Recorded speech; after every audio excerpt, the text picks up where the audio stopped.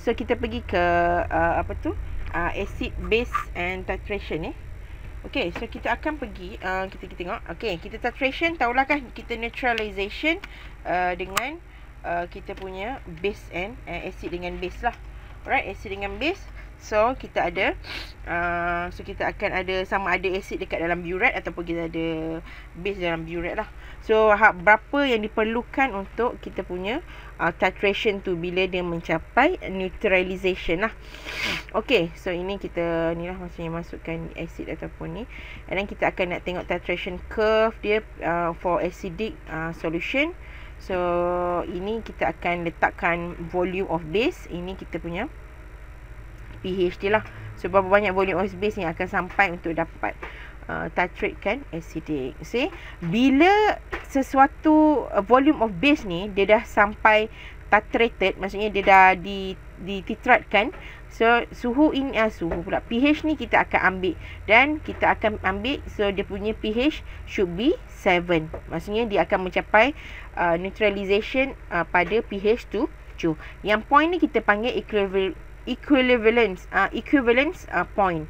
Okay? Alright uh, Kita akan gunakan indicator Sama ada kita guna Phenolphthalein Ataupun Dia punya Ni lah Yang untuk indicate Dia punya color changes.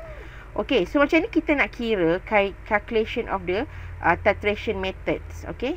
So ini ada saya sikit Ada buat dulu Masa yang First chapter dulu kan?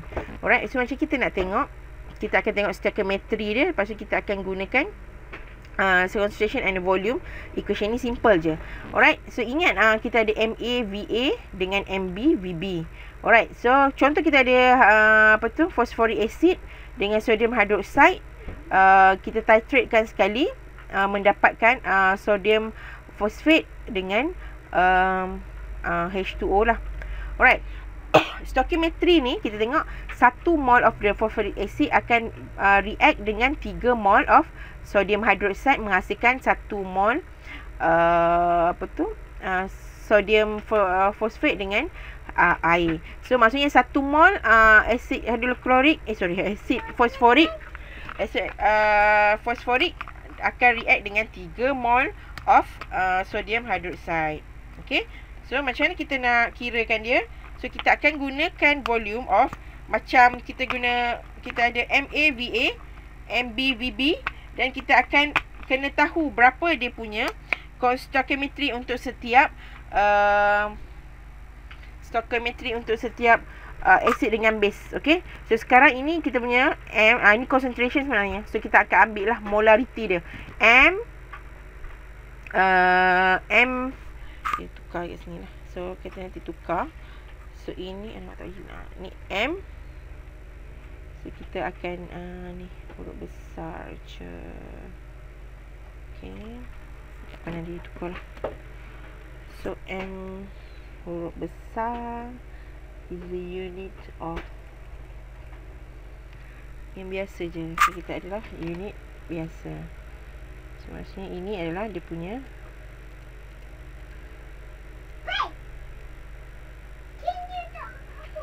Okay, ini pun ni V. Nanti you tukar dalam you punya ni lah.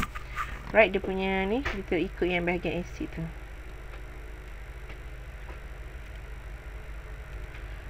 Okay, so uh, ini dia punya untuk saturation. So MAVA, MBV, VB dia. Okay.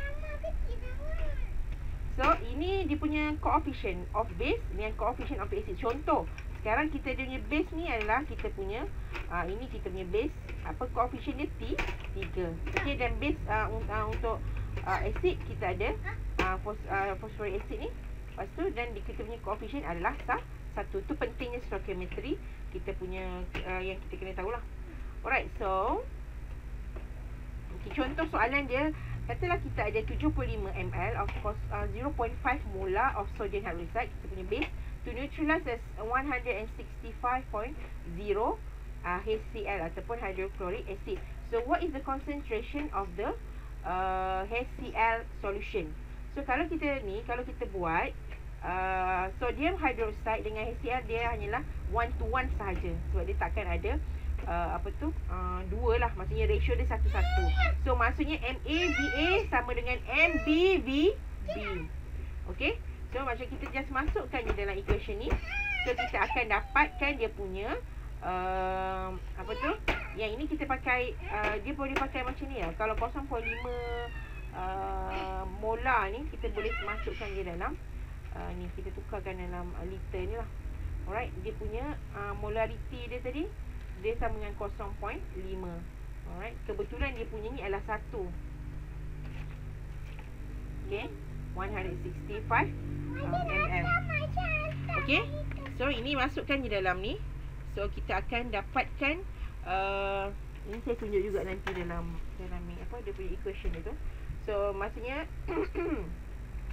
0.05 uh, ni kita akan masukkan MAVA tu maksudnya MAVA kita nak dapatkan dia punya uh, molarity dia 0.5 okay 0.035 we trust 0.035 ya CL and daripada tu baru kita kirakan untuk mendapatkan molarity tapi ni direct ni pun boleh.